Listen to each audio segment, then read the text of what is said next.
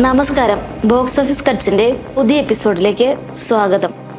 രണ്ടായിരത്തി ഇരുപത്തിനാല് മലയാള സിനിമയ്ക്ക് ഒരു ഭാഗ്യവർഷമാണെന്ന് വേണം കരുതാൻ. ചുരുങ്ങിയ നാളുകൾ കൊണ്ട് തന്നെ തിയേറ്റർ വിജയവും നിരൂപക പ്രശംസയും നേടിയ എത്ര മലയാള സിനിമകളാണ് റിലീസായത്? വെറും രണ്ടു മാസത്തിനുള്ളിൽ തന്നെ അഞ്ഞൂറ് കോടിയുടെ ബിസിനസ്സാണ് മലയാളം ഇൻഡസ്ട്രി നേടിയിരിക്കുന്നത്. മലയാള സിനിമയുടെ ചരിത്രത്തിൽ തന്നെ ഇങ്ങനൊരു പ്രതിഭാസം ആദ്യമായാണ് സംഭവിക്കുന്നത്. ഈ വർഷത്തെ ടോപ്പ് ഫൈവ് കളക്ഷൻ നേടിയ ചിത്രങ്ങൾ ഏതൊക്കെയാണെന്ന് നോക്കിയാലോ?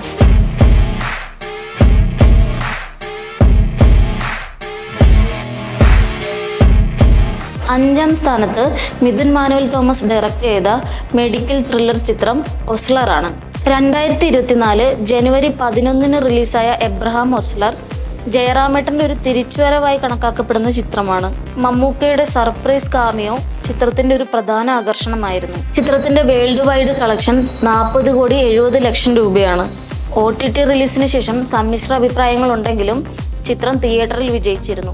നാലാം സ്ഥാനത്ത് മമ്മൂക്കയുടെ ഹൊറർ മിസ്റ്ററി ത്രില്ലർ ചിത്രമായ ഭ്രമയുഗമാണ് ഭൂതകാലം എന്ന ചിത്രത്തിന് ശേഷം രാഹുൽ സദാശിവൻ സംവിധാനം ചെയ്ത ഭ്രമയുഗം പതിറ്റാണ്ടുകൾക്ക് ശേഷം മലയാളത്തിൽ ഇറങ്ങുന്ന ഒരു ബ്ലാക്ക് ആൻഡ് വൈറ്റ് ചിത്രമായിരുന്നു. വിരലിലുണ്ടാവുന്ന അത്രയും മാത്രം അഭിനേതാക്കൾ ഉണ്ടായിരുന്ന ചിത്രത്തിൽ എല്ലാവരുടെയും അഭിനയം പ്രേക്ഷക പ്രശംസ പിടിച്ചു പറ്റിയിരുന്നു രണ്ടായിരത്തി ഇരുപത്തിനാല് ഫെബ്രുവരി പതിനഞ്ചിന് റിലീസായ ചിത്രം അമ്പത്തെട്ട് കോടി മുപ്പത്തിരണ്ട് ലക്ഷം രൂപയാണ് വേൾഡ് വൈഡ് കളക്ഷൻ നേടിയത്. മൂന്നാം സ്ഥാനത്ത് ഇപ്പോൾ വിജയകരമായി പ്രദർശനം തുടരുന്ന ആടുജീവിതം എന്ന ക്ലാസിക് ചിത്രമാണ്. ബെന്യാമിൻ എഴുതിയ അതേ പേരിലുള്ള നോവലിന്റെ അഡാപ്റ്റേഷനായ ചിത്രം ബ്ലെസ്സി എന്ന സംവിധായകന്റെ ഡ്രീം പ്രോജക്റ്റ് ആയിരുന്നു. ഏകദേശം പതിനാറ് വർഷത്തോളം സമയമെടുത്താണ് ചിത്രത്തിന്റെ വർക്കുകൾ പൂർത്തിയാക്കിയത്. ചിത്രത്തിനു വേണ്ടി പൃഥ്വിരാജ് സുകുമാരനും കെ ആർ ഗോകുലും നടത്തിയ ബോഡി ട്രാൻസ്ഫോർമേഷൻ ഇപ്പോഴും സോഷ്യൽ മീഡിയയിൽ ഒരു ചർച്ചാ വിഷയമാണ്. രണ്ടായിരത്തി ഇരുപത്തിനാല് മാർച്ച് ഇരുപത്തെട്ടിന് റിലീസായ ചിത്രം കഴിഞ്ഞ ആഴ്ച നൂറ് കോടി ക്ലബിൽ കയറിയിരുന്നു. ചിത്രത്തിന്റെ ഇപ്പോഴത്തെ വേൾഡ് വൈഡ് കളക്ഷൻ നൂറ്റിയാറ് കോടി അമ്പത് ലക്ഷം രൂപയാണ്. പൃഥ്വിരാജ് നായകനായ ആദ്യ നൂറ് കോടി ചിത്രമാണ് ആടുജീവിതം ഒരേ സമയം നായകനായും സംവിധായകനായും മോളിവുഡിൽ നൂറ് കോടി ക്ലബിലുള്ള ഏക വ്യക്തിയാണ് പൃഥ്വിരാജ്. രണ്ടാം സ്ഥാനത്ത് നസ്ലിൻ ഗഫൂർ നായകനായ റൊമാന്റിക് കോമഡി ചിത്രം പ്രേമലു ആണ്.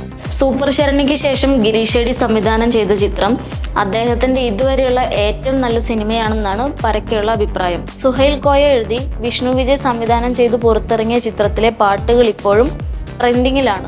രണ്ടായിരത്തി ഇരുപത്തിനാല് ഫെബ്രുവരി ഒമ്പതിന് റിലീസായ ചിത്രത്തിന്റെ വേൾഡ് വൈഡ് കളക്ഷൻ നൂറ്റി മുപ്പത് കോടി അറുപത്തിരണ്ട് ലക്ഷം രൂപയാണ്. ലിസ്റ്റിൽ ഒന്നാം സ്ഥലത്ത് മലയാള സിനിമയുടെ സീൻ തന്നെ മാറ്റിയ മഞ്ഞുമ്മൽ ബോയ്സ് ആണ് ചിദംബരത്തിന്റെ രണ്ടാമത്തെ സംവിധാന സംരംഭം ഒരു യഥാർത്ഥ കഥയെ ആസ്പദമാക്കിക്കൊണ്ട് ചെയ്ത ഒരു സർവൈവൽ ത്രില്ലറാണ്.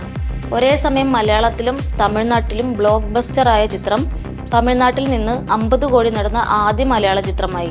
രണ്ടായിരത്തി ഇരുപത്തിനാല് ഫെബ്രുവരി ഇരുപത്തിരണ്ടിന് പുറത്തിറങ്ങിയ ചിത്രം മുടക്കുമുതലിന്റെ പത്തിരട്ടിയോളം തിരിച്ചു പിടിച്ചു ഇരുന്നൂറ്റി ഇരുപത്തിനാല് കോടി രൂപ വേൾഡ് വൈഡ് കളക്ഷൻ നേടിയതായാണ് റിപ്പോർട്ടുകൾ. ചിത്രത്തിന്റെ തെലുങ്ക് പതിപ്പ് റിലീസിന് തയ്യാറെടുക്കുന്നു. ഈ വർഷം ഇനിയും ഒരുപാട് മലയാള സിനിമകൾ റിലീസിന് ഒരുങ്ങുന്നുണ്ട് വിനി ശ്രീനിവാസന്റെ വർഷങ്ങൾക്ക് ശേഷവും രോമാഞ്ചൻ ടീമിന്റെ ആവേശം ലാലേട്ടൻ ഡയറക്റ്റ് ചെയ്യുന്ന ബറോസ് തുടങ്ങിയവ തിയേറ്ററിൽ ചലനം സൃഷ്ടിക്കാൻ സാധ്യതയുള്ള സിനിമകളാണ്. അതോ നമ്മളിനി ഒട്ടും പ്രതീക്ഷിക്കാത്ത സിനിമകളായിരിക്കുമോ ഈ വർഷത്തെ ടോപ്പ് ചിത്രങ്ങൾ? നിങ്ങൾ തന്നെ പറയും. അപ്പോൾ ഇനി അടുത്ത വീഡിയോയിൽ കാണുന്നവരെ സിനിമ ചർച്ചകൾ നടക്കട്ടെ. സബ്സ്ക്രൈബ് ചെയ്തല്ലോ അല്ലേ?